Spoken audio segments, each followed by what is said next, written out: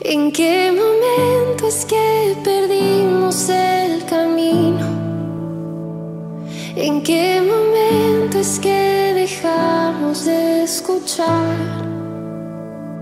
¿En qué momento el corazón se volvió